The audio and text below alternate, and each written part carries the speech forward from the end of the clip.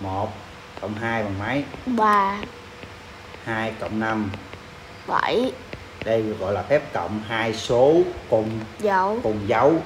Phép cộng hai số cùng dấu. Ta lấy hai số đó cộng lại lấy dấu chung.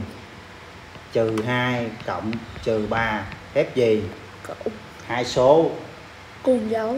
Ta làm phép cộng 2 cộng 3 bằng 5 lấy dấu chung âm làm có kẹp chưa? Rồi đó là nguyên tắc để làm phép cộng hai số cùng dấu. Tiếp tục hai số phép gì?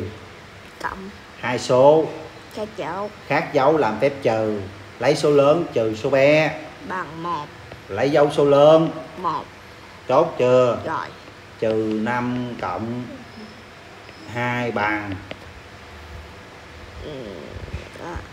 bằng 3 âm 3 đúng rồi lý do phép gì? Cộng. Hai số. Các dấu. Ta làm phép. Trừ. Trừ lấy dấu. Số, số lớn. lớn. Vậy phép cộng mình chỉ có hai cái thôi nè. Thứ nhất phép cộng hai số cùng. Dấu. Cùng dấu thì ta làm phép. Cộng cùng là cộng. Khác là trừ. Cùng là cộng. Khác là trừ.